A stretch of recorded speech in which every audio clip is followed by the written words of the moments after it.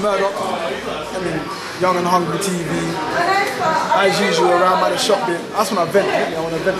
It's been a hard week, so I'm just gonna get a load off my chest. You get me? Fucking yeah. Stressful week. I again out 14th of February and that. It's gonna be nice. Old tight Young Mo, old tight Rocks, old tight Boss, old tight Dicks, old tight Hollow. Shop. That's the one way. Where she get that? About Yeah, a couple months and. Yeah. Right, straight. I'm telling niggas stop playing about. I got ya. Dick piss six stays at my house, lays on my couch. Hot sex plays with a mouth, and you don't even lay in the house. Me, I sprayed in the pouch, beat down, laid in the mouth, I raid in the house. Never complaining about what I've done, who I do, I'm amazing. I could write pages about the phrase in the mouth, the way that I came and I'm caning a route.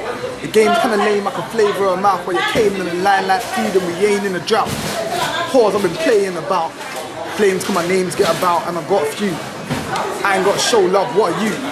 I get in the house, do what I gotta do. In and out, no forcing, no games, no foreplay. If it ain't fuck me, no talking.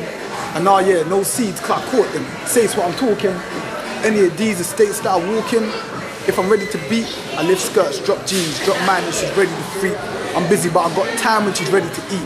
You ain't ready for me. I said it to you, but she said it to me when we were going in the weekend. See, we made a lot of noise. I don't think that you could say we were creeping. The funny thing is, we never talk about sex when we're speaking. I send a blank text. She be sucking on my dick by the evening. Young and hungry, bro. That was just me getting off my chest. I hope she gets the message. Scream at me all day.